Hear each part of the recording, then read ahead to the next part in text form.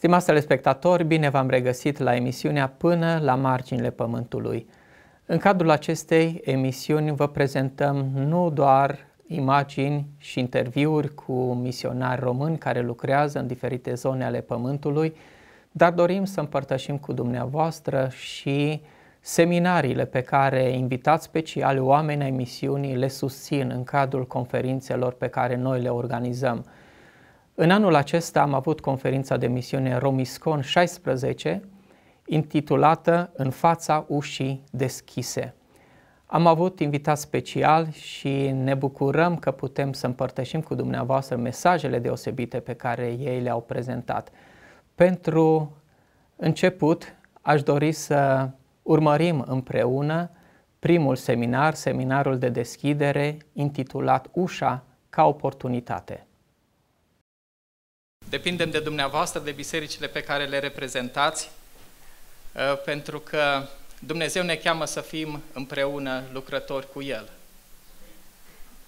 Și noi contăm pe parteneriatul cu dumneavoastră și uh, dacă ceva s-a întâmplat și se întâmplă în România și dacă sunt tot mai multe biserici implicate în misiune și dacă sunt tot mai mulți misionari pe câmpul de misiune, lucrul acesta uh, are loc pentru că dumneavoastră ați ales să ieșiți unii din confortul cu care ați fost uh, obișnuiți, să, de, să gândiți dincolo de zidurile bisericii, să vedeți nevoile mari care există în lumea aceasta și să fiți gata să răspundeți acestor nevoi. De aceea eu mă bucur să vă văd, mă bucur să mă întâlnesc sau să mă reîntâlnesc uh, cu dumneavoastră, pentru că toți suntem parte în această lucrare. Meritul nu este nici al agenției, nici al echipei care lucrează, uh, nici măcar al misionarilor care sunt pe câmpul de misiune, este al nostru, al tuturor. Și când uh, instruim misionari și pregătim ca să meargă pe câmpul de misiune, le spune mereu, noi suntem o echipă, nu suntem noi și voi, noi din România și voi care sunteți pe câmpul de misiune. Suntem o echipă și toți împreună, această echipă, ne dorim să vedem gloria lui Dumnezeu răspândindu-se și ajungând până la marginile pământului. Slăvit să fie numele Domnului! Ă, pentru că în întâlnirile astea introductive ă, avem și ă, oameni care sunt pentru prima dată sau la anumite conferințe oameni care sunt pentru prima dată, obișnuiesc să fac un fel de trecere în revistă a evenimentelor sau a mesajelor anterioare ca să venim cumva până la zi și apoi de aici să pornim împreună. Uh, conferințele de misiune Romiscon au fost uh, pornite cu mulți ani în urmă de fratele Cameron Wilson. Nu știu dacă este aici, a ajuns în sală, dacă nu, cu siguranță în seara aceasta o să îl întâlniți. El a pornit aceste conferințe naționale pentru că a dorit să vadă România, bisericile românești implicate în misiunea transculturală.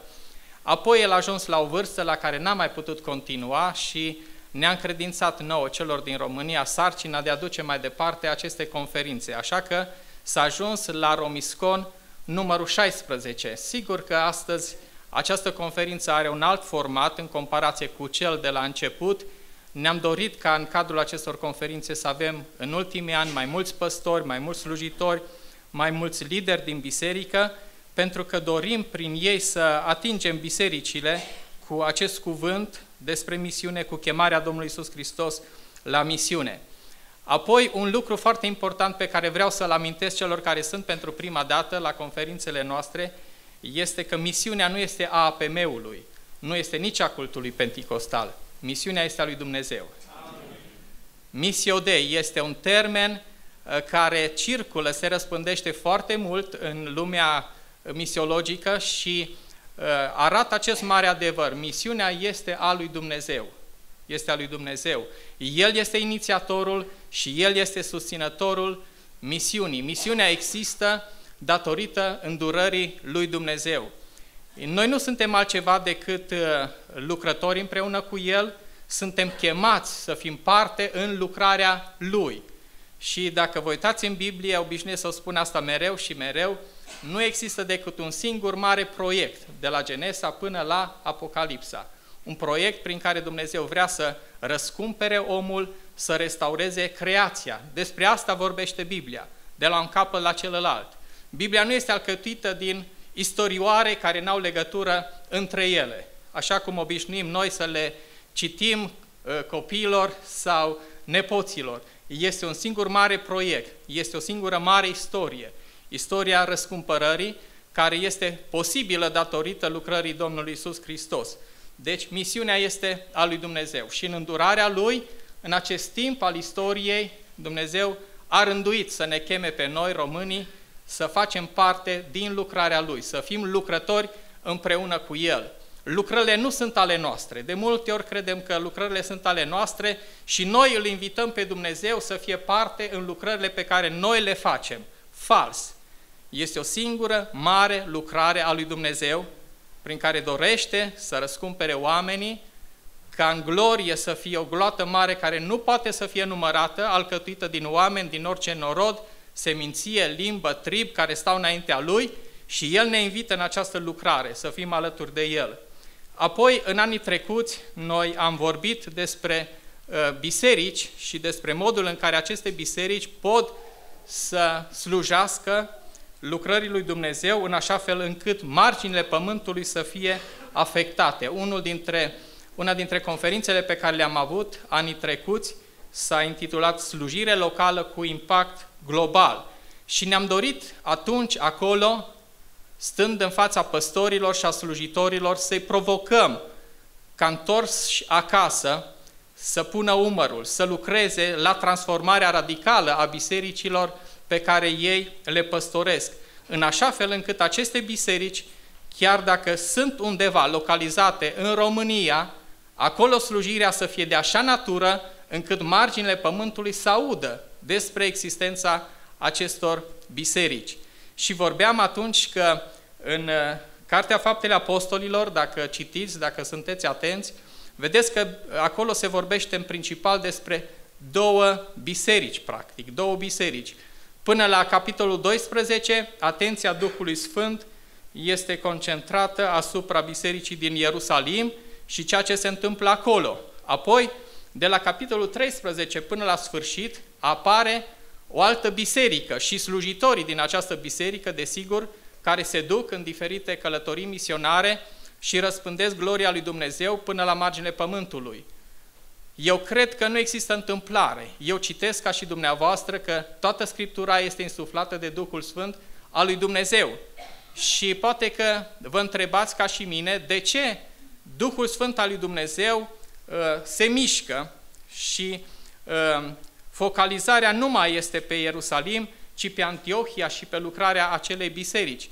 Eu cred din toată inima că această schimbare radicală are loc datorită faptului că biserica din Ierusalim n-a fost gata, n-a fost dispusă să asculte de cuvântul lui Dumnezeu, așa cum Iisus Hristos i-a poruncit bisericii prin apostolii ei de a face ucenici din toate neamurile și de a duce gloria lui Dumnezeu până la marginile pământului. Și apare, ne spune cuvântul lui Dumnezeu în fapte 11 și apoi 13, o altă biserică, o biserică ce ascultă de Dumnezeu, de porunca Lui, este gata să plătească un preț și să ducă Evanghelia la națiunile care n-au auzit-o niciodată. Și din momentul acela, ă, Duhul Sfânt se ocupă în mod special de această biserică. Așa că la una dintre conferințele anterioare ă, i-am îndemnat pe slujitori să transforme bisericile de tip Ierusalim în biserici de tip Antiohia, biserici apostolice în esența lor. Biserica din Ierusalim era o biserică în care erau apostoli, dar nu era apostolică. Mă înțelegeți?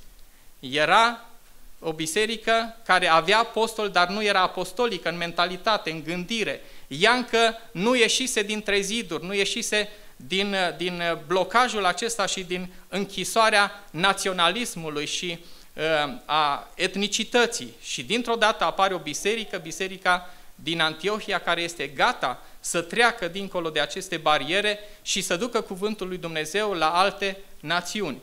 Și Dumnezeu vrea ca bisericile noastre să fie apostolice, în gândire, în fapt, în acțiune. Uh, păstorii, slujitorii, joacă un rol cheie în această transformare. Oricât am munci organizațiile de misiune, oricât de mult v-am vizita, oricât de multe predici am, am avea, oricât de multe conferințe uh, am uh, organiza, lucrul acesta nu este posibil decât dacă păstorii își însușesc viziunea și sunt dispuși să transforme radical bisericile lor din biserici pastorale, adică biserici care se preocupă doar de ele însele, de binele lor, de, de programe, de activități înăuntrul uh, bisericii, din biserici narcisiste preocupate doar de, de binele lor și de confortul lor, în biserici de tip Antiohia, biserici apostolice, biserici care sunt gata să plătească un preț, să se jerfească, să dăruiască, să trimită ce au mai bun, nu? Pentru că biserica din Antiohia a trimis doi dintre liderii ei cei mai buni, mai proeminenți, să ducă cuvântul lui Dumnezeu la alte națiuni. Apoi, într-o altă conferință de misiune, noi am vorbit despre Duhul Sfânt și misiunea și rolul Duhului Sfânt în misiune. Noi suntem parte dintr-o biserică penticostală și astăzi cei mai renumiți teologi ai timpurilor recunosc că secolul 20, am intrat de curând în secolul 21, desigur, dar secolul 20 este secolul care a văzut nașterea celei mai mari și mai importante mișcări din istoria bisericii. Sunt 20 de secole de biserică, de istoria bisericii și cel mai proeminent a fost secolul trecut din toată această istorie și acest lucru datorită lucrării Duhului Sfânt, a mișcării Duhului Sfânt, a bisericilor de factură penticostală care au apărut și care, mișcate de Duhul Sfânt, au împins mai departe frontierele împărăției lui Dumnezeu spre zone, spre locuri în care cuvântul lui Dumnezeu nu a existat. Ă, cuvântul lui Dumnezeu ne spune foarte clar că Duhul Sfânt, puterea Duhului Sfânt, botezul cu Duhul Sfânt ne este dat pentru a fi martori și noi penticostalii nu trebuie să uităm lucrul acesta.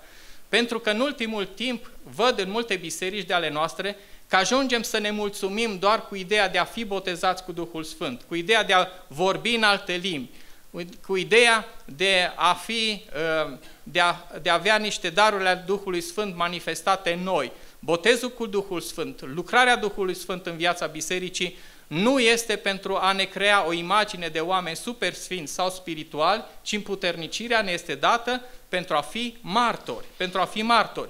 Și eu cred că o biserică ă, penticostală, autentică, ă, nu iese în evidență sau ă, nu se justifică doar prin a spune, a arăta câte botezuri cu Duhul Sfânt a avut anul trecut, câte stăruințe, câți oameni au mai fost umpluți cu Duhul Sfânt. Eu cred că o biserică umplută cu Duhul Sfânt își justifică existența și își poate arăta uh, puterea Duhului Sfânt prin lucrarea pe care o face dincolo de zidurile bisericii, pentru că este foarte clar, din fapte, când Duhul Sfânt a venit peste apostoli, au coborât în stradă, s-au dus în piață, au, au predicat cuvântul lui Dumnezeu. Este un nonsens și este un paradox, o biserică plină de Duhul Sfânt, așa cum zicem noi uneori, dar căreia este teamă să vestească cuvântul lui Dumnezeu, care se închide în ea însăși. Apoi, în uh, întâlnirile precedente am mai vorbit și despre rolul agenției de misiune, dar pentru că există și uh, o temă aparte, un atelier aparte pentru uh, acest subiect, uh, uh, mă opresc să mai vorbesc despre acest lucru și aș dori ca în uh, minutele următoare să fac o introducere la ceea ce se va întâmpla în aceste zile. După cum uh, ați văzut în materialele pe care uh, le-ați primit, uh, motoul acestei conferințe este în fața ușii deschise. În fața ușii deschise și noi am pornit de la Apocalipsa, capitolul 3, versetul 8. Aici Duhul Sfânt îi spune bisericii din Filadelfia, știu faptele tale, Iată, ți-am pus înainte o ușă deschisă pe care nimeni nu o poate închide, căci ai puțină uh, putere și ai păzit cuvântul meu și n-ai tăgăduit numele meu. Ai puțină putere. Și vreau în această seară, pe scurt, în uh, introducerea celorlalți vorbitori deosebiți și care vor fi prezentați la timpul potrivit când vor sosi toți cei care trebuie să sosească, vreau un scurt mesaj să îl aduc înaintea dumneavoastră pe care l-am intitulat Ușa ca metaforă a oportunității. Ca metaforă a oportunității. Dacă citiți Sfânta Scriptură, se vorbește mult despre uși, se vorbește despre ușă și în sens literal, dar se vorbește și în sens metaforic. Ușa este sau poate fi interpretată ca fiind inima sau gândul sau cugetul. Dacă citiți în Apocalipsa același capitol, Duhul Sfânt spune, iată, eu stau la ușă și bat, stau aproape de tine, în proximitate, la inimă, la cuget. Sau, în Genesa, capitolul 4, versetul 7, uh, Dumnezeu îi spune lui Cain, uh, păcatul pândește la ușă, este aproape, tu să-l stăpânești, este aproape de inimă, de gând, ai grijă de la gândurile tale. Apoi, uh, ușa în Sfânta Scriptură semnifică și mântuirea, mântuirea desigur prin Isus Hristos, pentru că nu există altă cale pentru om ca să fie mântuit, împăcat cu Dumnezeu, decât prin Isus Hristos.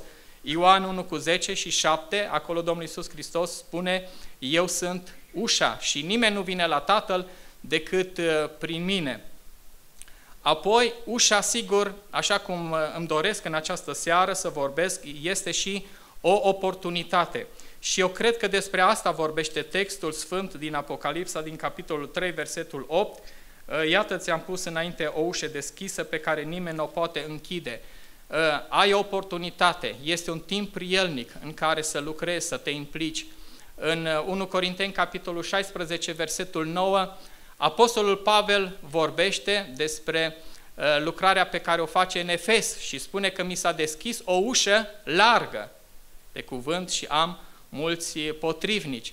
Apoi Matei 25 cu 19, Biblia vorbește în acea pildă că s-a închis ușa, oportunitatea, timpul în care oamenii ar putea să fie salvați. Sigur că uh, unii dintre credincioșii zilelor noastre uh, înțeleg aceste aspecte, înțeleg ușa ca fiind oportunitate, moment prielnic, dar unora dintre ei le este greu să interpreteze ușile, când se deschid și cum se deschid și cine le deschide. Și uh, sunt credincioși care își petrec viața printre uși, sunt credincioși, sunt chiar biserici care uh, sunt conduse, sunt călăuzite de modul în care se deschid ușile sau oportunitățile sau ocaziile. Și în această seară, frați și surori și frați slujitori, vreau să vă spun cu, cu toată fermitatea că și diavolul poate să deschide uși. Atenție! Și diavolul poate să deschidă uși. Sunt credincioși care merg pe drumul cel mai ușor, cel mai facil, uh, cel mai simplu, și ei cred că pe acolo trebuie să meargă uh, viața lor. Uh, fără să jignesc pe nimeni, poate că s-ar putea să fie aici astfel de persoane, dar în călătorile mele în Statele Unite am întâlnit oameni care au zis, frate Ghiță, zice, nu mi-a trecut prin minte să ajung vreodată în America. N-am vrut, eu n-am vrut să ajung în America. Dar zice, am câștigat la loteria vizelor și așa am ajuns în America. Înțelegeți?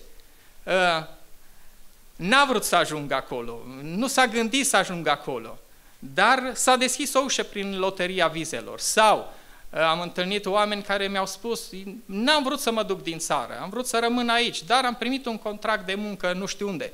Și sunt credincioși care intră pe aceste uși și cred că uh, tot ce se deschide este din partea lui Dumnezeu și toate oportunitățile care apar vin de la Dumnezeu și intră pe ele. Noi avem aici în sală o familie care sunt gata să plece în misiune în India, care au trăit într-una dintre cele mai, mai bune și frumoase țări din Europa, care au primit contract de muncă acolo și au renunțat la tot ceea ce oferea această țară ca să se ducă într-una dintre cele mai sărace țări de pe pământul acesta, în India.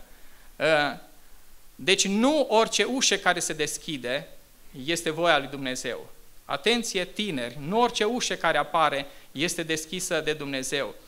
Nu orice zâmbet și orice amabilitate este uh, oportunitate sau ocazie pentru a te căsători. Uh, Dumnezeu lucrează și altfel și eu cred din potrivă că împotrivirile nu sunt totdeauna uh, împotrivirile nu sunt totdeauna din uh, partea lui Dumnezeu. Vedeți dumneavoastră în 1 Corinteni, în capitolul 16, versetul 9, zice Pavel, mi s-a deschis o ușă mare de cuvânt și sunt mulți potrivnici. Noi de multe ori când vedem împotrivirile, ăsta este o semn că nu-i Dumnezeu acolo, că nu-i voia lui Dumnezeu, că nu-i planul lui Dumnezeu, împotriviri și atunci ne ducem pe ușa asta ușoară, care se deschide fără împotriviri, fără pericole, fără dificultăți. Ne ducem acolo. Pavel vede o ușă mare și în același timp mulți potrivnici. Dragii mei, în experiența mea, nu-i lungă, poate 20 și ceva de ani de slujire, 50 și ceva de ani de, de viață, am realizat, am realizat, cel puțin din experiența mea, că de cele mai multe ori, acolo unde sunt mai multe lupte, mai multe împotriviri, mai multe adversități, mai multe primejdii, acolo este voia lui Dumnezeu, ăla este planul lui Dumnezeu, aia este calea pe care Dumnezeu vrea să mergi. Nu vă călăuziți viețile intrând pe ușile cele mai ușoare, facile, care se deschid înaintea voastră, pentru că s-ar putea să intrați într-un labirint de unde nu vă mai întoarceți niciodată și viața voastră și a bisericii pe care o reprezentați sau o slujiți falimentează în mod radical. În, în 1992 eu m-am mutat în Dobrogea. Atunci terminasem școala la București și Ă, așa cum se întâmplă cu cei mai mulți tineri care sunt acolo, era un sector care mă aștepta la Cluj, ă, îmi construisem o casă, nici măcar nu o finalizasem, eram căsătorit, familia mă iubea, și prietenii mei toți erau aici și era normal să mă întorc acasă în județul Cluj și să slujesc acolo. Și am înțeles de la Domnul că este altă cale și să mă duc acolo unde biserica nu mă vroia, unde prieteni nu aveam, unde familia era departe de mine, unde casă nu aveam, șase ani de zile, în primii șase ani m-am mutat de șase ori și am înțeles, în ciuda adversităților, a problemelor, a dificultăților, a împotrivirilor, că asta este voia lui Dumnezeu. Și acum, uitându-mă în urmă, vreau să vă spun că n-am decât cuvinte de mulțumire și de, de apreciere la adresa lui Dumnezeu pentru modul minunat în care a călăuzit viața mea, pentru că timpul pe care l-am petrecut în Dobrogea timp de 17 ani a fost unul de, de, de pline împliniri spirituale și, și, și pe planul uh, lucrării pastorale și a implicării în împărăția lui Dumnezeu. Deci, uh, aveți grijă de uși, aveți grijă de uși. Iată, ți-am pus în față o ușă, spune Duhul Sfânt. Și uh, pentru a ști ce fel de uși sunt în fața noastră, este nevoie de discernământ, este nevoie de înțelegerea lucrurilor și aici îmi place să vă dau o referință în 1 Cronici în capitolul 12, 32 și capitolul acela, partea aceea din capitol, vorbește uh, un lucru foarte interesant. Acolo prezintă, de fapt, războinicii lui David și ia semințiile pe rând și zice, din Iuda, atâția războinici, oameni deosebiți, care purtau sabia, din, din uh, uh, Simeon, atâția războinici, mii și zeci de mii de războinici, uh, din uh, Dan, atâția războinici, zeci de mii de războinici care sunt în armatul lui Saul. Și dintr-o dată vine textul și spune versetul 32, din Isahar, 200 de oameni, 200 de oameni, ce făceau oamenii aceștia? Erau iscusiți în înțelegerea vremurilor și știau ce trebuie să facă Israelul. O grămadă, zeci de mii de soldați bine înarmați, puternici, viteji și dintr-o dată în această mare oștire 200 de oameni care n-aveau de-a face cu armele, cu sulițele, cu spada, cu nimic și erau iscusiți în înțelegerea vremurilor și știau ce trebuie să facă Israelul, știau ce trebuie să facă împăratul. Eu cred, dragii mei, că în aceste timpuri, în aceste vremuri, noi, Biserica Pentecostală, avem nevoie de tribul ăsta, de tribul lui Sahar, care să ne învețe în acest timp crucial din istoria omenirii și din istoria Bisericii Pentecostale ce trebuie să facem, care este voia lui Dumnezeu, care este planul lui Dumnezeu, care sunt așteptările lui Dumnezeu din partea noastră. Ei bine, ca să înțelegi, voia lui Dumnezeu și planul lui Dumnezeu nu este totdeauna ușor. Asta înseamnă să te oprești, de multe ori să te oprești. Iar noi suntem prinși într-o viață agitată, aglomerată, ocupată, și nu poți să auzi vocea lui Dumnezeu și nu poți să înțelegi planul lui și uh, scopul lui pentru tine și pentru biserică dacă nu-ți faci timp să te oprești, să stai înaintea lui, să faci liniște în viața ta, ca toate celelalte voci să amuțească și să poți distinge foarte clar vocea lui Dumnezeu și cuvântul lui Dumnezeu. Pentru că fiind atât de aglomerați, atât de agitați, implicați în programe, în proiecte și noi parcă nu suntem preocupați decât să derulăm aceste proiecte, să le facem să funcționeze, sunt ani și ani de zile de când poate că n-am mai auzit vocea lui Dumnezeu. La seminar la București aveam un profesor care totdeauna când venea lunea ne întrebam, ne întreba tinerilor, ce va mai vorbi Dumnezeu? Ce va mai spus Dumnezeu? Ne provoca cu această întrebare să stăm mai mult și mai des înaintea lui Dumnezeu ca să-i ascultăm vocea. Pentru că nu poți să-i cunoști vocea Domnului decât dacă petreci timp cu El. Atunci îi recunoști vocea din mii și zeci de mii de voci posibile. Ă, deci, dragii mei, stați înaintea lui Dumnezeu, meditați cu privire la viața voastră, la slujirea voastră, cu privire la bisericile pe care le uh, reprezentați, care este voia lui Dumnezeu, care este voia lui Dumnezeu.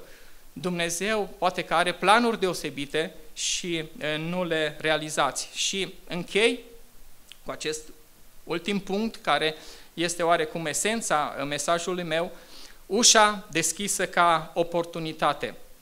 Dumneavoastră știți, frați și surori, că în Noul Testament în limba greacă există doi termeni pentru timp sau pentru vreme. Este Cronos și Kairos. Uh, cronosul uh, se referă la cronologie, la succesiunea timpului, la curgerea lui. Kairosul se referă la timpul potrivit, la oportunitate. El reprezintă aspectul calitativ al timpului. Și eu cred, dragii mei, că există acum un kairos, un timp potrivit pentru națiuni ca să audă cuvântul lui Dumnezeu. Cred în asta. Există momente istorice, există momente unice când Dumnezeu se așteaptă să se întâmple ceva undeva. Iisus Hristos a fost, ne spune Ioan capitolul 4, versetul 35, a fost în Samaria. S-a dus acolo împreună cu ucenicii lui, a trecut pe acolo, el s-a oprit la fântână. Ucenicii lui n-au observat absolut nimic în Samaria, deși au fost aproape de Domnul atâta vreme, i-au cunoscut inima, dar când au ajuns în Samaria n-au văzut nimic altceva decât niște oameni vrednici de dispreț, au căutat cât de repede să cumpere ceva de aleguri și să plece cât se poate de repede de pe acest pământ blestemat. Domnul Iisus Hristos însă a văzut în Samaria altceva, ceva ce ei nu au văzut. Iisus Hristos a văzut holdele care erau coapte, gata, atunci, pentru seceriși. Era o oportunitate unică ca acest grup etnic să fie atins cu Evanghelia Domnului Iisus Hristos. Dragii mei, eu cred că noi trăim într-un timp în care Dumnezeu vrea să lucreze în lumea aceasta într-un mod deosebit. Este un kairos pentru anumite națiuni care trebuie să fie evangelizate. Obișnuiesc să dau un exemplu din istorie. În 1260, Marco Polo a ajuns în China, împreună cu o parte din însoțitorii lui. Uh, s-a întâlnit cu uh, Kubilai Khan, împăratul uh, Chinei, și regele acesta, împăratul acesta a fost deosebit de mișcat de civilizația pe care oamenii ăștia o reprezentau, de religia pe care ei o aduceau și a zis, mergeți înapoi și aduceți 100 de misionari. Țara este deschisă pentru voi, mergeți și predicați Evanghelia oriunde în această țară. Marco Polo s-a întors, după 15 ani, a revenit în China cu doi călugări catolici. Biserica acelor timpuri n-a avut, n-a găsit 100 de misionari pe care se trimită în China. De atunci până astăzi istoricii se tot întreabă, oare ce s-ar fi întâmplat cu China? Cum ar fi arătat China? Cum ar fi arătat Asia? Acolo unde există cea mai mare parte din oamenii pierduți, miliarde de oameni pierduți sunt acolo. Ce s-ar fi întâmplat dacă în 1260, biserica de atunci ar fi fost gata, ar fi, fost, ar fi înțeles Kairosul uh, pentru China, momentul potrivit și ar fi uh, trimis acolo, nu 100, 200, 500, mii de misionari care să răscolească această țară și să predice cuvântul lui Dumnezeu.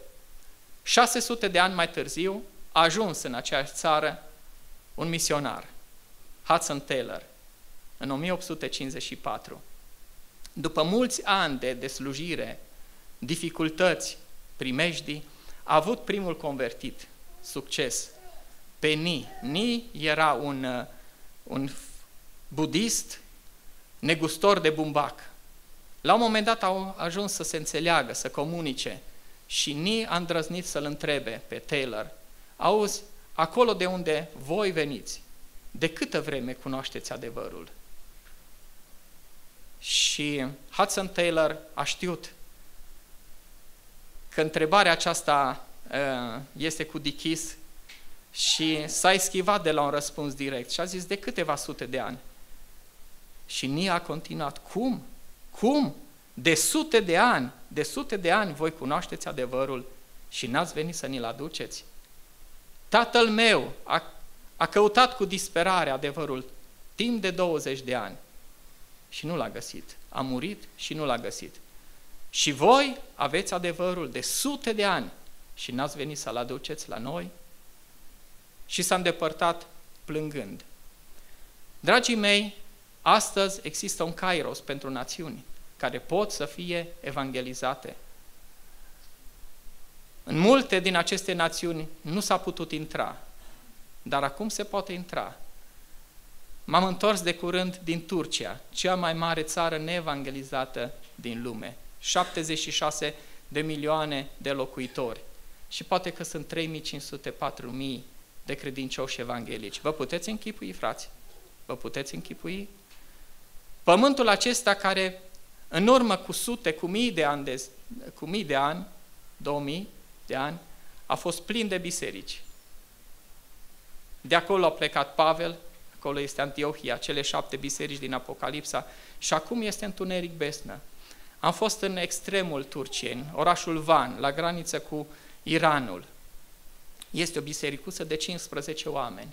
Acolo a fost un cutremur acum vreo 3 ani, 600 de oameni au murit, încă orașul este afectat de ceea ce s-a întâmplat. Există o bisericuță de 15 oameni. Acolo a mers o tânără din România ca misionară și face o lucrare deosebită. Și i-am întrebat care, care biserică este mai aproape de dumneavoastră și mi-au spus la Diyarbakir, la 600 de kilometri. Închipuiți-vă că sunteți aici, la Călimănești, 15 credincioși într-o biserică și mai aveți una la Constanța sau la, Med- la Mangalia, cea mai apropiată. Cum ar fi? Cum ar fi viața? Cum ar fi credința? Cum ar fi slujirea? Atât de mari sunt nevoile. Și acum Turcia este deschisă, este deschisă pentru Evanghelie. Eu călătoresc acolo cam de 15 ani și văd în acești 15 ani cât de mult s-a deschis ușa. În urmă cu 15 ani nu puteai să predici cuvântul lui Dumnezeu pe stradă în această țară. În urmă cu 15 ani bisericile se ascundeau, nu puteau să aibă o reclamă că acolo este un loc de întâlnire. Astăzi bisericile fac evangelizare pe stradă, folosesc ocazii să se ducă în mijlocul oamenilor să predice cuvântul lui Dumnezeu. Noi nu știm cât ține acest kairos, această oportunitate, această ușă deschisă. De ce n-am fi gata să intrăm pe ea? De ce n-am fi gata dacă în 1260 Biserica Catolică n-a avut 100 de misionari pentru, pentru China? N-am putea strânge 10, 20, 50 de misionari români pentru Turcia. Amin. Pentru că este un timp, un kairos. Avem misionari care slujesc într-una dintre cele mai dificile țări, în Afganistan. Încă mai sunt trupe americane acolo. Încă se mai poate merge acolo. Nu știm dacă anul viitor se mai poate intra, dacă peste 2 ani de zile se mai poate intra acolo. Este un kairos. Ce facem noi cu aceste ocazii, cu aceste oportunități? Poate privim în urmă, în istorie și judecăm biserica majoritară, catolică de atunci, că n-a fost în stare să trimită 100 de misionari. Dar oare noi, câți am putea trimite? Câte câmpuri de misiune sunt deschise pentru noi acum și nu facem nimic? Dar tot așa cum există un kairos pentru națiuni, există un kairos pentru biserici când ele pot să se implice. Și acum vin la punctul care mi este mie cel mai drag. Sute de ani, Dumnezeu a folosit multe alte biserici, multe alte organizații, ca să-și ducă gloria lui Dumnezeu până la marginile pământului. Au fost misionari din Anglia, din Statele Unite, din Germania, din țările scandinave, care au plătit un preț imens ca astăzi Evanghelia să fie vestită în Asia sau în Africa. Multe din aceste biserici din Occident sunt acum în declin. Bisericile sunt tot mai mici, mai îmbătrânite. Misionarii care au plecat acum 30 de ani, 40, se întorc acasă, bătrâni, epuizați, obosiți, bolnavi și nu mai este o tânără generație care să meargă să îi înlocuiască. În acest timp al istoriei, Dumnezeu ne cheamă pe noi, românii. Ce vom face noi? Vom răspunde Domnului? Eu cred că este un kairos al nostru, al României. Un timp potrivit, o oportunitate. Eu am trăit timp de 30 de ani în comunism și frații mai în vârstă de aici știu și înțeleg ce s-a întâmplat atunci. N-am visat vreodată să am un pașaport, n-am visat vreodată să trec uh, granița uh, acestei țări. Eram prizonierii unui sistem în această țară. Și atunci îmi aduc aminte că nu numai eu, dar cred că sute și mii de credincioși plângeau, se tânguiau și strigau, Doamne, adu vremuri mai bune, adu libertate, adu timpuri prielnice, să te putem predica, să vorbim altora despre tine, să ne ducem pe stradă, să proclamăm numele tău. De 25 de ani Dumnezeu a adus acest timp pentru care noi ne-am rugat. Ce am făcut și ce facem? Cum am folosit acest timp? Dragii mei, niciodată în istoria ei, Biserica Pentecostală n-a avut mai multe biserici. Ne batem în piept, ne lăudăm peste tot. Și eu mă laud că sunt parte din această biserică. Peste 2800 de biserici pentecostale doar în România. Niciodată n-am avut așa multe biserici, niciodată atât de mulți tineri ca și acum, niciodată atât de mulți slujitori bine pregătiți și echipați, niciodată o tânără generație bine echipată în diferite școli, niciodată atâtea resurse, în ciuda crizei de care ne plângem, niciodată atâtea resurse. Nu este acum timpul potrivit? Mă rog ca Domnul să ne ajute să folosim acest timp. Eu cred că acum este kairosul nostru. Acum este timpul nostru. Dumnezeu a deschis o ușă. A deschis o ușă. De aceea vă invităm aici, frați și surori, frați păstori, frați slujitori, nu ca să mai facem încă o conferință, nu ca să avem la cine să vorbim. Fals.